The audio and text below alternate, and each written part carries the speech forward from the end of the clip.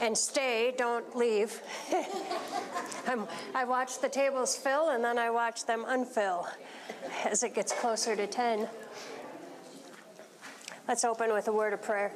Father God, we thank and praise you for this day. We thank you, Lord, for your glorious promises that we find in your word. We thank you, Lord, for your patience with us as we learn how to live in them. We thank you, Lord, um, that you never fail us, ever, ever, ever. And we praise you this day, Lord. This is your day, the day that we set aside to refresh, renew, and um, be um, revitalized in you. So bless this time that we have, Lord. Fill our hearts, fill our spirits up, Lord, today, that we might be uh, courageous, victorious, overcoming people that you promised uh, that we would be. In Jesus' name I pray. Amen. All right. Uh, hopefully, you all have a study guide there. This is a Bible study you don't need to have been in all along. You can just jump in at any time, so keep inviting people. Today we're studying, of course, God's promise of grace. There's a table over here if people need to fill it up. Fill it up. All right. If you've been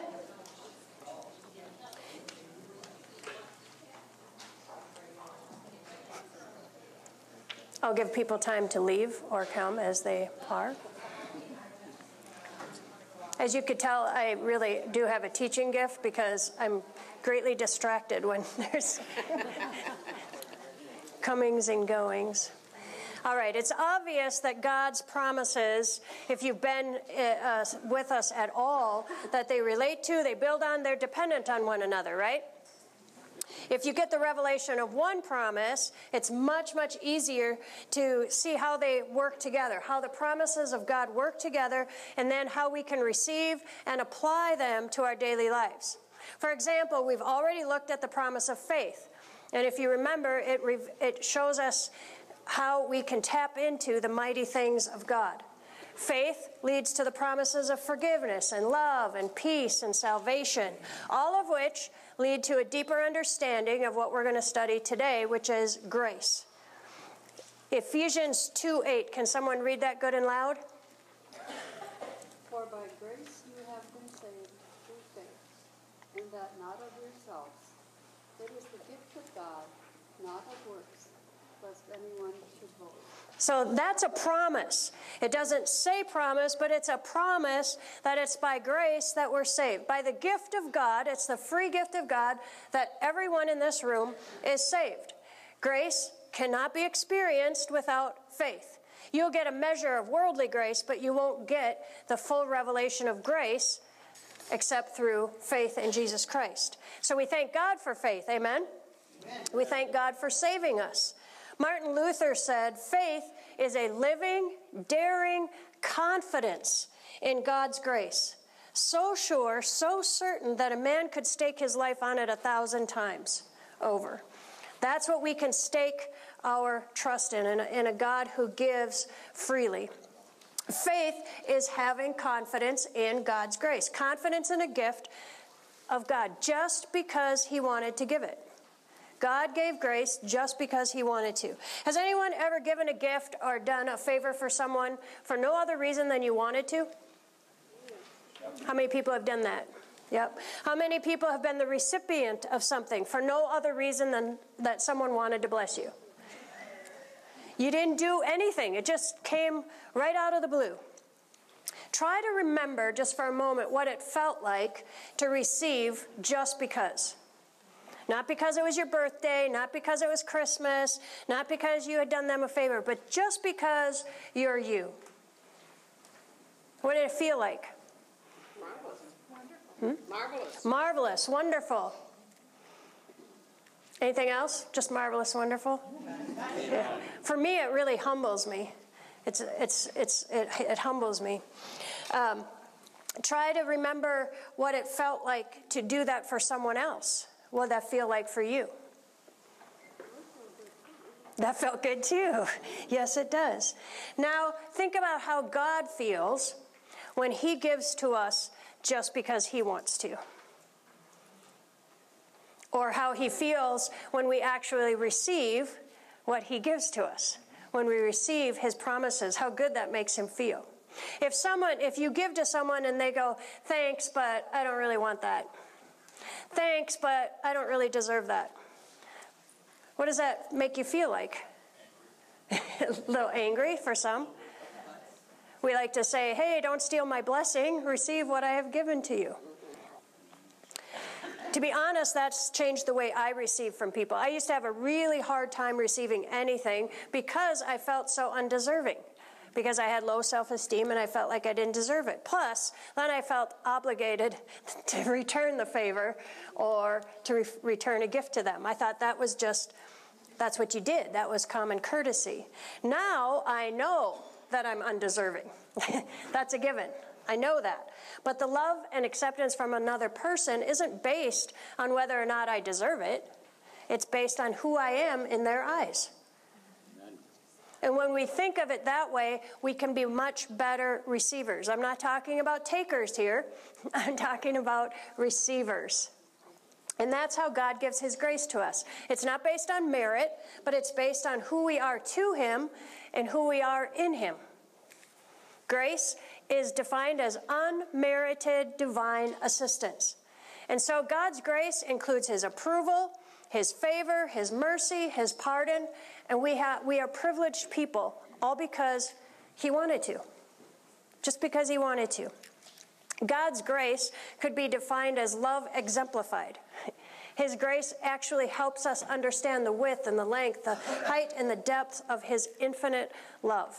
It's by grace that um, we can understand more of God. If we don't, if we don't just receive this unmerited divine assistance, it's very hard to grow in God because we're always trying to earn it. We're always trying to figure Him out instead of having a relationship with Him so that He can reveal Himself to us. His grace can never, ever, ever be earned or repaid. Even if you spent your entire life trying to repay God for what He's done for you, you couldn't do it. And it doesn't really matter how um, full of gratitude all of us are, all put together for the grace that He's given to us, it would still be insufficient for the grace that we each receive on a daily basis. That's grace. And because of grace, each one of us in this room has been granted privileged status as God's adopted children. We're children of the King. We're ambassadors of his kingdom. We're the apples of his, his eye. We're his peculiar people. We are seated in heavenly places. We walk in his power right here on earth, all because of grace. And we can't talk about grace without actually talking about God's mercy because they go hand in hand. Mercy is defined as divine favor. It's this lenient, compassionate treatment, or it's not getting what we deserve. Does that make sense? Mercy is not getting what we deserve, uh, or is, is not getting what we deserve, and grace is getting what we don't deserve. The Bible describes God's mercy as being plentiful, new every, mo- uh, every morning, and His mercy is from everlasting to everlasting. Psalm 103 says He removes our transgressions far away from us, as far as the east is from the west, so far, and He remembers them no more. That's mercy. Mercy holds no grudges, it abstains from punishment or censure. God treats us as though it didn't happen. Mercy is then God's eternal grace. You see, God has always been full of mercy and grace. Always. The Israelites experienced it in the wilderness. The whole Bi- the Bible tells us in Exodus uh, 15, 16, 16 that uh, the whole congregation complained against Moses and Aaron. They, they, didn't, they thought they were complaining against Moses and Aaron. They were really complaining against God. And God told them that later on. But they were complaining against Moses and Aaron. You can just hear them. What's up with Moses and Aaron? What kind of leaders are they? Did you hear the last decision that they made? What kind of leaders are they anyway? And this food out here, it's terrible. we knew change would be hard, but this is harder than hard. We, should have, we shouldn't have trusted them. We should have just stayed in Egypt because at least we, even though we were slaves, at least we ate well. You can hear their grumbling and their complaining if you just kind of go there in your head. Instead of giving the people, though, what they deserved, God had mercy. He, he didn't kill them. and he gave them grace. He told Moses that he heard their complaints, so he was going to rain down food from heaven for them. And he said they can receive it every single day. Every morning they can get up, go get what they need for the day, and then on the sixth day, collect two days' worth, and they'll never be hungry. And he also said he'd make quail fly in at night so they'd have meat. They complained, and he gave them, he had mercy on them. He fed them. What a God. What grace, what mercy. What promises we have even here in 2014 from God. This promise is reiterated there in Psalm 105, 37 to 45. It says, The Lord brought his people out of Egypt, loaded, loaded with silver and gold. And not one among the tribes of Israel even stumbled. Understand, they were loaded with stuff, and they didn't even stumble. Egypt was glad when they were gone, for they feared them greatly. The Lord spread a cloud above them as a covering and gave them a great fire to light the darkness. They asked for meat, and he sent them quail. He satisfied their hunger with manna, bread from heaven. He split open a rock, and water gushed out to form a river through the dry wasteland. For he remembered his sacred promise for his servant Abraham. So he brought his people out of Egypt with joy his chosen ones with rejoicing. He gave his people the lands of pagan nations, and they harvested crops that others had planted. All this happened so that they would follow his decrees and obey his instructions. Praise the Lord. This tells us how we should respond to the grace of God. Follow his decrees, obey his instructions, and praise him. We praise him for this grace that continues to pour down on us. There's a wonderful story of grace that came out of one of the worst times in American history during the Great Depression. Uh, Fiorella, or Fiorello LaGuardia, was the mayor of New York City. And the New, New Yorkers called him um, the little flower because he, was, he only stood five foot four and he always wore a carnation in his lapel. And he was a colorful character. He would ride the New York City um, fire trucks. He raided speakeasies with the police department. He um, took entire orphanages to baseball games. He, um, when the new, I would have loved to have been there for this. When the newspapers went on strike, he went on the radio and read the funnies to the kids who were listening. One bitter cold night in January of 1935, the mayor decided to go to one of the worst areas in New York City um, and relieve the judge for a night and tell him he could go home and spend it with his family. He would take over the bench himself. A tattered old woman was brought before him, charged with stealing a loaf of bread. She told LaGuardia that her daughter's husband had deserted, that her, grand, her daughter was sick, and that her two grandchildren were starving. The shopkeeper she stole from refused to drop charges, even after hearing of her distress. He reiterated to the mayor, It's a real bad neighborhood, Your Honor. She's got to be punished to teach others around here a lesson. LaGuardia sighed as he turned to the woman and he said, He's right, I've got to punish you. The law makes no exceptions $10 or 10 days. But even as he pronounced sentence, he reached in his pocket for a bill and threw it in his hat. And he said, Here's the $10 fine which I now remit. And furthermore, I'm going to fine everyone else in the courtroom 50 cents for living in a city where a person has to steal bread so that her grandchildren can eat. Mr. Bailiff, collect the money and give it to the defendant. The following day, the New York City newspapers reported that $47.50 was turned over to a bewildered old lady who had stolen a loaf of bread to feed her starving grandchildren. 50 cents of that was contributed by the red faced grocery store owner, while 70 petty criminals, people with traffic violations, and even New York policemen each paid 50 cents and gave the mayor a standing ovation when it was all said and done. Now, did the elderly lady in this story uh, get what she deserved? The answer is no. She did wrong, didn't she? She stole. Maybe she had a good reason, but stealing is stealing regardless of the reason. Punishment would have seemed to be the order of the day, right? However, the mayor, serving as a judge, was in a superior position. He chose to show mercy and to extend her grace. He showed mercy by not giving her what she deserved, and he extended grace by going above and above, uh, above and beyond and giving her what she did not deserve. All she had to do was receive it. Christian financial consultant and author Larry Burkett told a story from his own life about mercy. He leased an office building um, in, early in his career proved to be a nightmare. The foundation had been improperly constructed. So the office builder, building was literally sinking into the ground about three inches every year. After more than those three years of putting up with assorted problems, including power failures and water leakage, Burkett moved his business to another location when his lease was up. Two months after he left, he received a call from his former landlord demanding that Burkett remodel and repaint his former, former office space.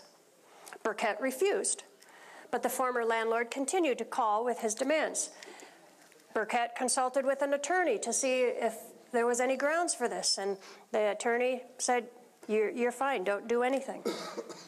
His son, however, offered different counsel, reminding his father that the landlord and his wife had lost their only child a few years earlier and still suffered from that tragedy.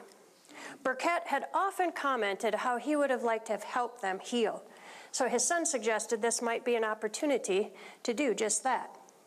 Burkett took some time, considered it, prayed, and decided to commit several thousand dollars to restore a virtually non usable building. It certainly wasn't fair, was it, to fulfill the former landlord's demands? But it was an act of mercy, not bringing harassment charges against him. And it was an act of grace by going above and beyond giving the landlord what he did not deserve. See, mercy and grace almost always go hand in hand. And it's God's promise to every single one of us. I wrote the most common acronym for grace on there God's riches at Christ's expense. How many people learned that years ago? And that's an awesome gift. Um, I always go, but what are those riches? And when I ask that, we have a hard time coming up with more than two or three.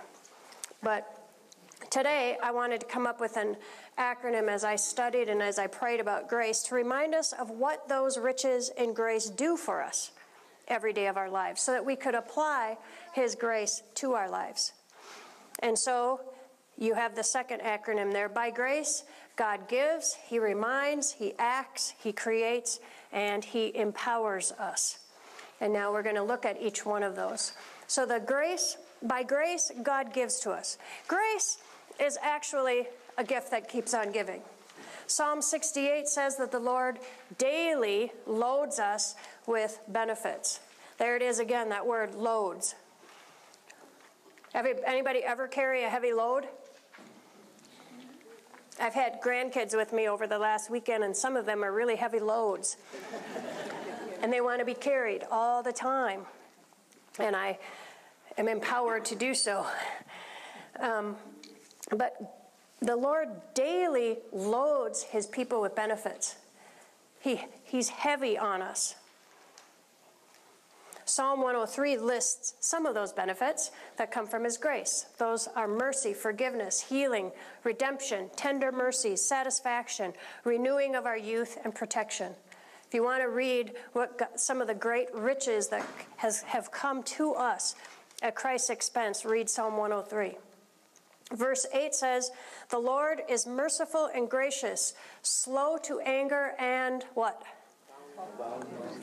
Abounding in mercy. There's very few things we abound in in this world if we if we really think of it. If I asked how many of you are abounding in money? Oh yeah, me.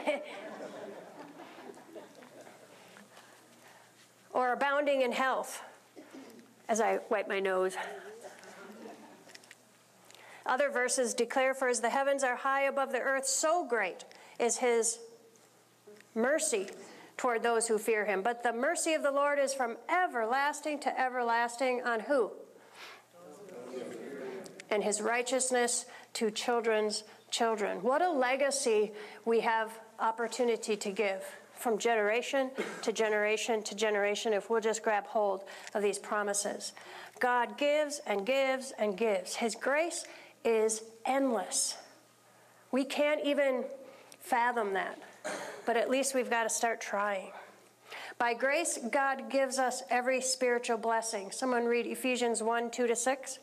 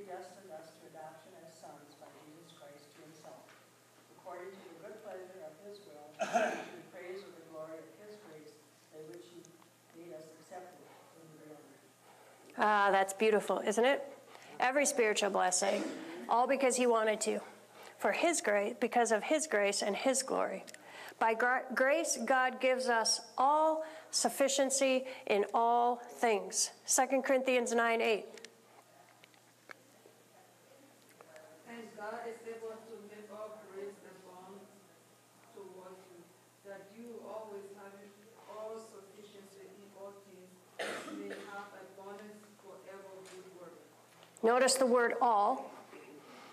Grace gives all. All. Pretty simple. By grace, God gives good things. Psalm 84 11. For the Lord God is a sun and shield. The Lord will give grace and glory. No, no good thing will he withhold from those who walk I could probably go on for a few hours about why we don't see all those good things, but I'm just going to talk about God's grace today instead. But um, His Word is so sure, so strong, so powerful if we'll just live in it, we'll just receive what He has to say to us.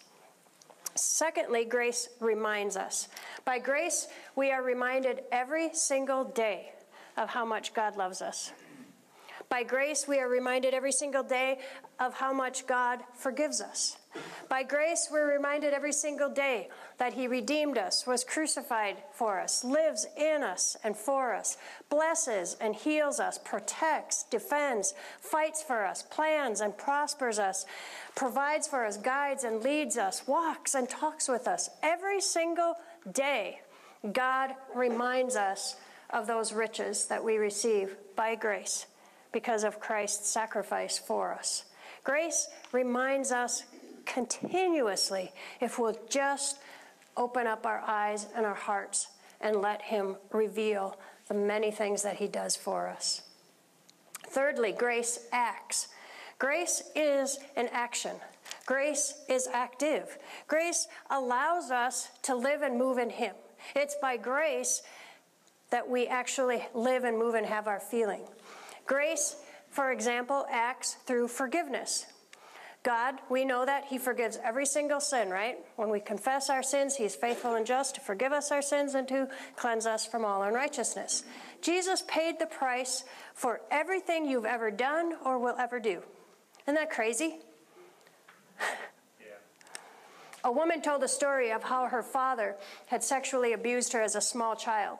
She grew up, she became a Christian, she overcame the emotional damage. She eventually married, and years later, after her own children were full grown, she received a letter from her father saying that he, too, had become a Christian, and he had asked God for forgiveness for all of his sins. He also realized, though, that he had sinned against her, and he was writing to ask her for her forgiveness. Feelings she did not know were there suddenly surfaced.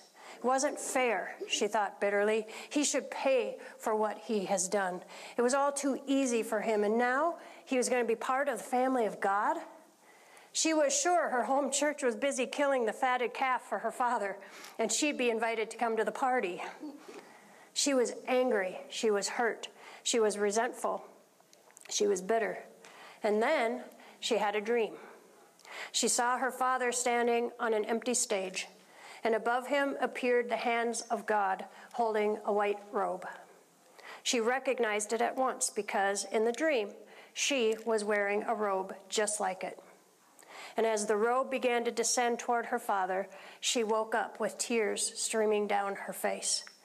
You see, she realized that the only way she could get past this was to realize that her earthly father was now the same as she. They were the same in God's sight. God's grace for him, God had grace for him just as he'd had grace for her. And by realizing that, she was finally able to forgive her father. Grace. It's a free gift. It's not based on anything we've done, it's not based on anything we've not done, and it's not about what we deserve. Grace is about mercy, not fairness. Grace is for the last, just like it's for the first. Grace is for the worst of sinners, grace is for the least of sinners. Grace acts through forgiveness, it is an action word. Grace also acts through cleansing. God cleanses us from all unrighteousness. Please don't miss or just gloss over the word all.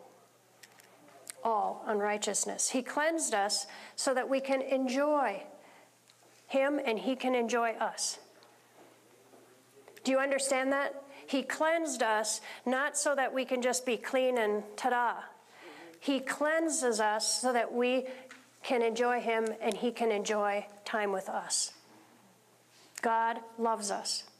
And as our Father, He wants to spend time with us, just like we want to spend time with our children. In Jeremiah, God says He will cleanse us from all our iniquity by which we have ever sinned against Him. That's an act of grace. In Ezekiel, God says He will sprinkle clean water on us and we will be clean. He will cleanse us from all filthiness and idols. What a difference that would make in our lives if we just let Him sprinkle us clean. That's an act of grace. Ephesians, in Ephesians, we're cleansed by the washing of water by the word. That's an act of grace. In 1 John 1 9, we read, If we confess our sins, which is what I just said, He is faithful and just to forgive us our sins and to cleanse us from all unrighteousness. Grace acts in our world today through cleansing. Grace acts through favor. Repeatedly, the Bible says God gave or showed grace and favor to his people. Now, all you have to do is just read a little bit of the Bible to realize God's people don't deserve grace. Amen? Amen. But you, if, you, if, if you just did a Google search on how much grace God gave and showed to his people in the Word of God, you'd be amazed. It is amazing grace. Ephesians says he raised us up to sit in heavenly places. Now, having a place in the throne room of God is pretty presti- prestigious, right? Pretty favorable. How many of us live like we're seated in heavenly places? He raised us up to sit in heavenly places. Doesn't that change? It needs to change our perspective. He adopted us into his family and told us to call him Abba Father. That's an act of grace. Anyone remember seeing photos of young John Kennedy Jr. playing under the desk in the Oval Office while his dad, the President of the United States, worked? To John John, this important man was just daddy. God is our daddy, and He wants to shower us with His favor. He told us where to come when we are in need so that we can obtain mercy and grace. How many of us just complain that God's. this just came to me. Pastor Mark used to work on a farm to pay for his high school tuition. And uh, so he worked for a farmer.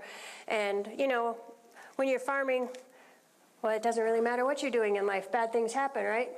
And he said, Um, he would always say to, they'd be sitting having uh, tomato soup for lunch, and he'd always proclaim, Why is God so ugly to me? Why is God so ugly to me? He could only see the bad. And God says we have to go to Him to find and obtain mercy and grace. Yep, we could all sit here and tally up all the bad things that are going on in our lives right now. And I bet we'd actually like to. We'd probably like to outdo one another. Show you how bad my life. You're, you think your life is bad? Wait till you hear my life. Oh, wouldn't it be great if we'd outdo one another in demonstrating and talking about God's mercy and His grace? Hebrews 4:16. Let us therefore come boldly throne of grace, that we may obtain mercy and find grace to help in time of need. You see, we don't just go to Him to, to get our need met. You see that there? We go boldly to obtain mercy and to find grace. There's a difference between just going to ask God to just get, get rid of the stuff, the stuff that's going on in our lives. Go to Him to experience Him, to experience grace, to experience mercy. He'll help in the time of need.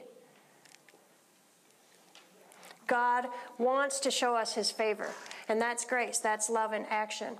Also, God creates the C in the acronym for grace. Grace is life giving, it creates a new heart in us. Grace creates a fresh start every day. Do you understand that? If today is not going so well, it's okay because tomorrow's a new day. Grace creates adventure because we get to be risk taker, risk takers in this life of grace in Jesus. Grace creates new opportunities for us. Grace creates a fearlessness in us. Grace creates strength in us. God is a creating God. And so with grace comes creativity, and it's God's creativity in us. His mercies are new every morning, not old, not recreated. His mercies are new. And when God says new, he means new. God said in 2 Corinthians 12 9, My grace is sufficient for you, for my strength is made perfect in weakness. Next week, we're going to talk about strength, the promise of, of God's strength. Therefore, most gladly, I would rather boast in my infirmities that the power of Christ may rest upon me. Notice it doesn't say complain about our infirmities. That's hard, but it's simple. When my mother in law was living with us in hospice, every day became more emotionally difficult as we watched her in a state of helplessness, as we witnessed the steady decline, as we worked with an endless parade of caretakers and nurses and aides and family coming and going. Oftentimes, not oftentimes, often every moment of the day, many times during the day, I would have to say to myself, I can do this. I can do this because I can do all things through Christ who strengthens me. God, your grace is sufficient. I'm weak, you are strong. Your strength is made perfect in weakness, one day at a time. I had to talk the word, I had to speak the word to myself to keep going. I had to remember how life giving God is and how He creates newness every day. Every single day I failed, and every single day He continued ne- never to fail me. He strengthened my resolve to do what needed to be done. And that means anything that needed to be done, it was His strength that made it possible. He has done the same thing in myriad situations throughout my life. And I'm sure if I open the mic here, you'd all have similar testimonies of God's faithfulness by grace. By turning to God in times of weakness and need, by looking and longing for His creativity in our lives, we will we will, we will experience His grace in greater dimension. And lastly, grace empowers. Not only are we do- adopted into the family of God, we are empowered people of God. Do you get that? We're not helpless children, we're empowered people. 2 Peter 1 2 to 4. Grace and peace be multiplied to you in the knowledge of God and of Jesus our Lord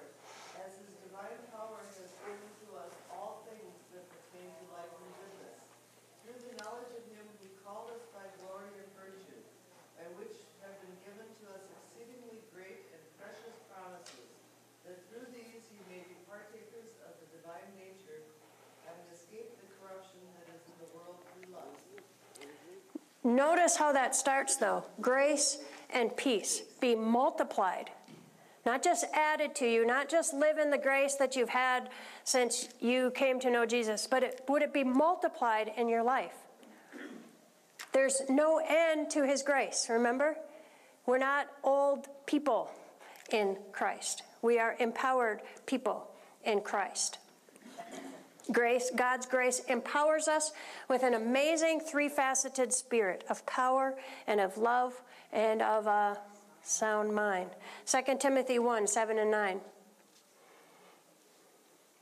For God has not given us the spirit of fear, but of power and of love and of a sound mind, according to his own purpose and grace, which was given to us in Jesus Christ before time began. According to his own purpose and grace. I, I remember just speaking that over Pastor Mark's um, father when he was having memory issues. I would speak, I would speak, God didn't give you a spirit of fear, but of love and of power and of a sound mind. And I wasn't saying, oh, well, if I speak it, it'll be. I was trusting in God to preserve him and to hold him until he decided to take him home. God's grace empowers us with the whole armor of God according to Ephesians 6. That's amazing grace. That is empowering grace. We, all of us, have the armor of God by which to live and move and have our being. You see, everything God has ever done is the result of His great love and grace. His great love for us, and then His desire to pour out riches on His people at Christ's expense. Everything you will ever need or want is abundantly available because of His great love and His great grace. And so, as we spend time meditating on the grace and favor of God, we will learn to depend on Him in all situations. If we don't spend time meditating on all of these things that I've shown you here, that's just a little bit of what He has to give to us. When, that, when those times of need come, we won't know how to depend on Him. Because we'll say, yep, by grace, we're saved. And people go, well, what is that grace? Well, I, don't know. It's just really good stuff from God. But we want to know what those things, what, what, it, what, what they are. What's the substance of grace? And hopefully, I've given you some clues to, to push you to press into the word even more fully. God wants us to trust Him enough that we will cast every care on Him so that he could show himself strong on our behalf. His word explains that he wants to spend eternity showing us the exceeding great riches of his grace. And I always love when I see that because I'm like, well, eternity starts now, so I don't have to wait till I get to heaven to start experiencing and getting a fuller revelation of what this grace is really like. God longs to bless us abundantly. 1 Corinthians 1 3. Grace be unto you and peace from God our Father and from the Lord Jesus Christ. Those just aren't the words of, of a writer. Those are inspired words from Holy Spirit trying to penetrate our lives in 2014 so that we'll receive His grace new today. Paul Tillich Tillich, or Tillich, a German American Christian theologian and philosopher, wrote his impression of an experience of grace like this. He said, Grace strikes us when we are in great pain and restlessness. It strikes us when we walk through the valley of a meaningless and empty life. It strikes us when year after year the longed for perfection does not appear when the old compulsions reign within us as they have for decades, when despair destroys all joy and courage. Sometimes, at that moment, a wave of light breaks into our darkness, and it's as though a great voice were saying, You're accepted. You're accepted. You're accepted by that which is greater than you, one that you do not know. Don't try to do anything. Don't perform anything. Don't intend anything. Simply accept the fact that you are accepted.